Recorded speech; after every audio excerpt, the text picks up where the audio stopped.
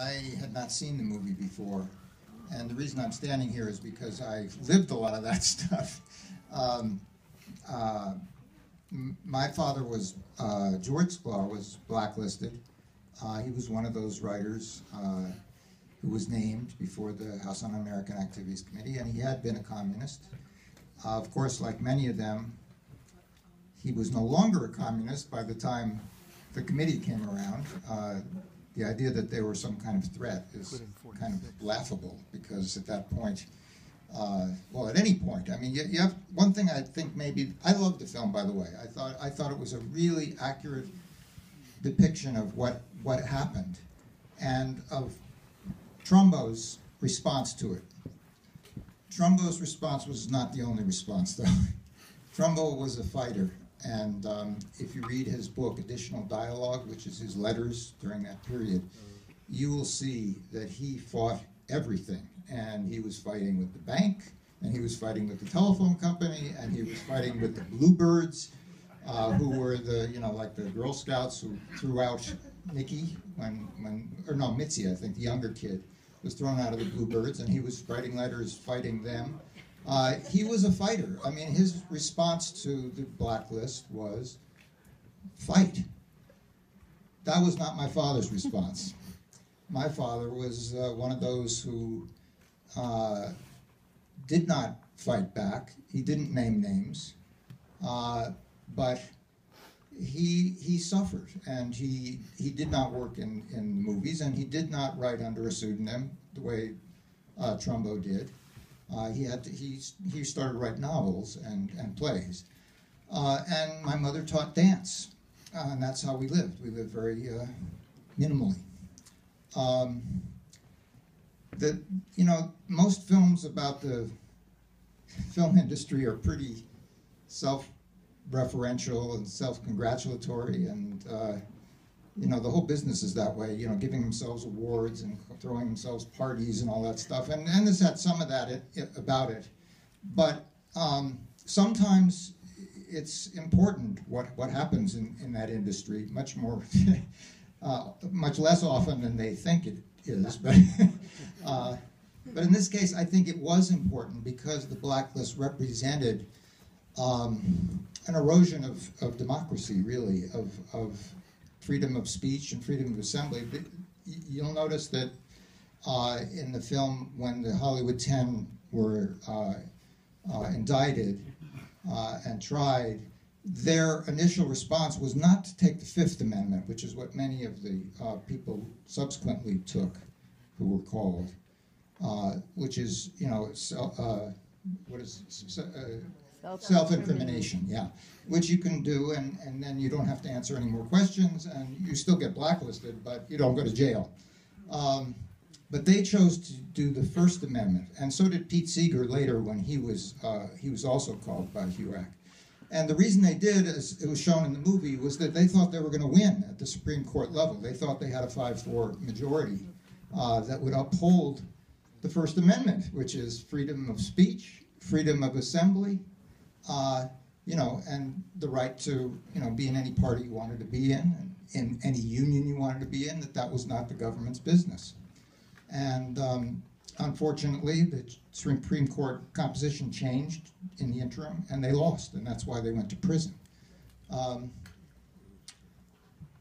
the, the, the result of all that, and not just that, obviously, it was way beyond the Hollywood. Hollywood was the, the focus for the HUAC because Hollywood had celebrities, and it made newspaper headlines, and everybody would pay attention if movie stars were involved but there were teachers who were blacklisted, there were union people who were blacklisted. And in fact, one criticism I would have of this movie, and I don't have very many, but the one that did stick out to me was the scene of Hedda Hopper convincing Louis B. Mayer uh, that uh, uh, they had to, uh, you know, uh, that he had to um, play ball. Yeah. Um, because of her power and so forth. The truth is, that the studios wanted to break the unions. The unions, and that had gone on long, long before the blacklist, long before the Cold War. It was back in the 40s and in the 30s even. uh, as these trade unions in, in, in the entertainment business grew and grew stronger, there were many communists. And they were the most militant, and they were the most committed, and they were the, the strongest organizers. The studio heads knew that. So, you know, the idea that Hedda, Hedda Hopper, you know, did that, I think is just wrong. I think the idea is that they wanted to break the unions. Um, that was, and that, that, that, that's what happened, really. Um, I think the, the overall feeling as I grew up during the blacklist was fear and secrecy. The two things he said at the end in that speech. Um, as kids, my, you know, we were never told um, what was really going on. I was much younger than my brother and sister, but my sister asked them at one point, "Are you were you communists? Are you communists?" And they refused to answer her. and they said the reason is we don't want you to. If anybody ever asks you, we want you not to have to lie. You can simply say and be totally truthful. I don't know. So, uh, but we had our ways of finding out. And uh, after my father died, um, going through his books one day the Communist Party card fell down and I, my jaw dropped. Uh, but that was only confirmation of what we already knew. And a lot of what we knew was from other kids. My, my sister had a, a group called the Friendly Conspirators. They were, they were all red diaper babies. They were kids of blacklisted people, and we somehow found each other. Um, but you weren't supposed to tell anybody what you know your parents really believed, at least in my family. Now, that's not true in Trumbo's, even though he said, well, he's talking about whether he was the author of those scripts and so forth, but I don't know if he enforced the kind of rules that we had, which was you don't talk about your politics with people. You certainly don't talk about your parents' politics, and even when I went off to college, you don't sign anything, you don't take your, get your picture taken. We suffered enough, was their attitude. Now, I rebelled against that, but that was the pervasive result of what you know that fear and and the secrecy. That was really the two things. Um, it was very eroding. On the other hand, the positive side of it was um, we really did stick together as a family, as theirs did. Um, it was this, and you know, this idea that he neglected his family. Well, it's, I mean, maybe that was true that he was working like a madman. Not everybody did what he did. Uh, he was able to do all those uh, scripts under the table and under pseudonyms. Not everybody did that. Some people went to Europe. Some people went to Mexico. Trumbo went to Mexico for a little while. Albert Maltz, my godfather, went to went to Mexico. Um, some of the best movies that were written, some of the best TV shows that were written during the 1950s, were written by blacklisted writers under pseudonyms. Uh, you know, Lawrence of Arabia, uh, um, well, the brave one, obviously, uh, but many, many others. Uh, uh, Bridge on the River Kwai, written by Michael Wilson, but uncredited. You know, that was, and you, you, know, you had High Noon, written by a blacklisted writer. You know, so some of your best films of, of all time, and of course later, after they, the blacklist ended, you had some writers who did make it back and ended up, you know, winning Oscars. You had Waldo Salt, who wrote Midnight Cowboy, and you had uh, Ring Lardner, who wrote uh, MASH. So, and they, they ended up winning Oscars after the blacklist was, was broken. But I think the, you know, the important thing is, but a lot of people didn't have that kind of luck. Um, you know, Bobby Lees was a friend of my parents. He wrote a lot of the Abbott and Costello comedies.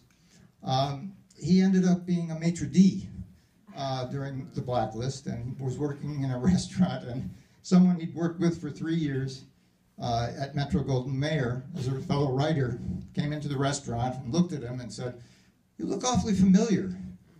Did I know you from Chasen's or uh, Brown Derby or?" and Bobby had to tell him, uh, no, uh, we worked together in, uh, at Metro for three years. And the guy was very embarrassed and ended up giving him some under the table work. But uh, Bobby and others wrote uh, Lassie, Flipper, Robin Hood, all these things that you grew up with on television were, were written by blacklisted writers, but all under under pseudonyms or with fronts, as you saw in the movie the, the, uh, with Woody Allen, in The Front. Uh, maybe, maybe you've seen that.